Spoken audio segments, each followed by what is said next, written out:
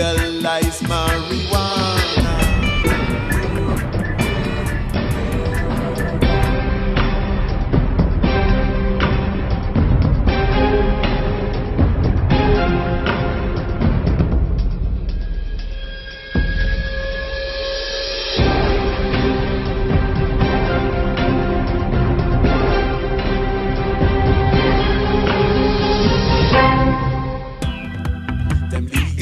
Legalize marijuana.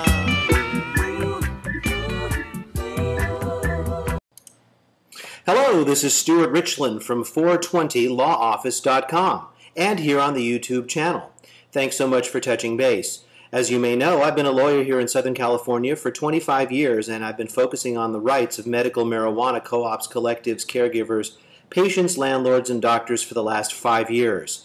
We have a current crisis in the city of Los Angeles that even among those centers that were assured, supposedly, of their ability to continue because they were on the blessed list uh, that had registered by uh, November of 2007, uh, out of those, two thirds have recently been informed that they cannot remain open, uh, although there will be a lawsuit to determine their rights. Um, this office stands ready to represent you if your collective is in this interesting, unique position among the Los Angeles litigation on medical marijuana plaintiffs. We currently represent about 10 of those plaintiffs, and they are of mixed description. Some are some of the 187, some filed hardships.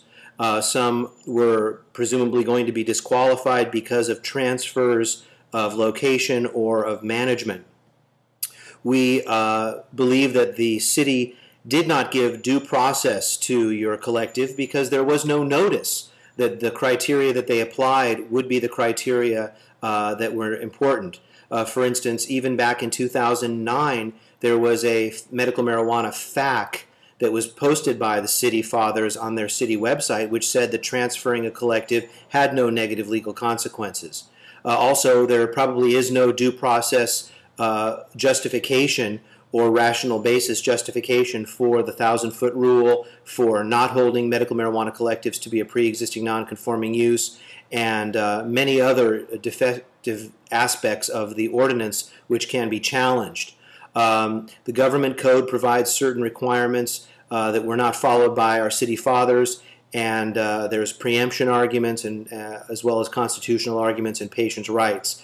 So I've been involved in this litigation now with the city uh, since its inception. Uh, I am proud to say I've taken a lead in the arguments. Arguments. If you've had a chance to read the transcripts or if you've been there, you know that the cream rises to the top, and that there have been some really good uh, arguments made. And I'm proud to say that I've been at the center of all of them so far. Uh, there are other qualified lawyers, certainly, uh, but I'm here to talk about my own skills, and I hope they're self evident to you. I take the Pepsi Challenge. I urge you to uh, compare what this firm can offer you and come in for a consultation. We're going to be scheduling some meetings. If you're interested in finding out about the different legal options you have, whether you are one of the 187 or one someone with a hardship or any other condition, but in particular for those people who receive the denial letters, give us a call at 888-420-LAW1. That's 888-420-LAW1, and we'll be honored to give you a consultation and let you know some of the legal theories that me and my team have put together. I'm proud to say that uh, I don't work alone.